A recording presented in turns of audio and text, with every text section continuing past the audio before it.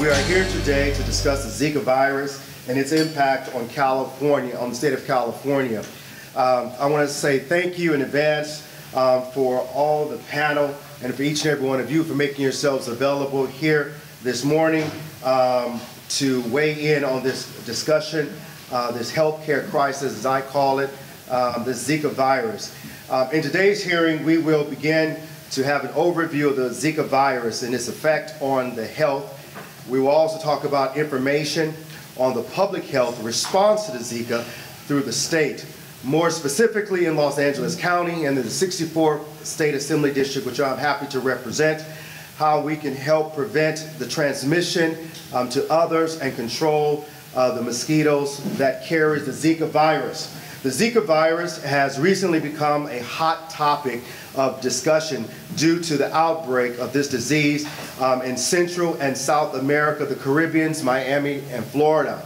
Um, the nation's Center of Disease Control Prevention have released the travel warnings uh, for pregnant women and their partners as the disease can affect and develop in the womb. Uh, many are concerned about the, the virus and what um, and it affects it will have on the unborn child.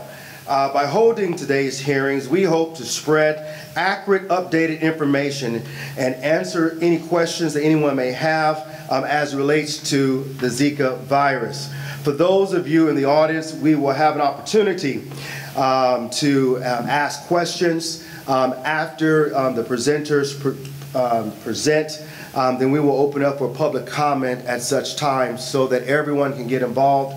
Uh, this is an informational hearing, um, an official hearing of the state, and we want to make sure that um, individuals have an opportunity to weigh in, um, answer and address any, any questions you may have, any concerns, or any rumors that may be out there that we have uh, the practitioners, the specialists, that can address those particular um, concerns and questions. I also want to recognize um, my team for help putting this together. Can you just do me a favor? Can you give Team Gipson a round of applause for working so hard?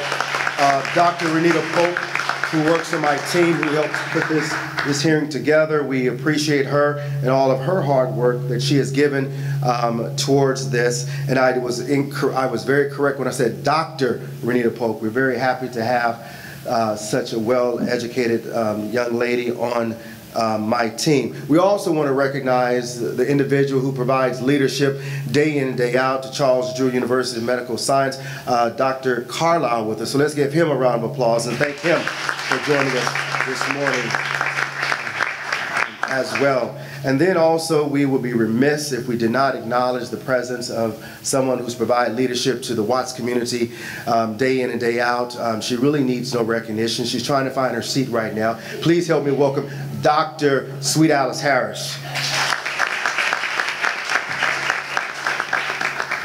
Um, we expect some other elected officials to join us. We will be um, recognizing those elected officials as they enter uh, this room. We also recognize that uh, this auditorium, um, this is the last time that we will be able to gather in this place. Um, so mark this time in history, chronicle it, because this building will be demolished. We will be the last hearing um, in this particular space. Um, and so we're very grateful because I remember so many fond memories of community meetings in this room, heated debates, arguments um, that provided great leadership and great directions um, to our community. And I speak of someone who grew up in this community. I am a son of Watts, a proud son of Watts. Also attended and provided health care services. Um, um, I didn't, but the hospital provided health care services to my family.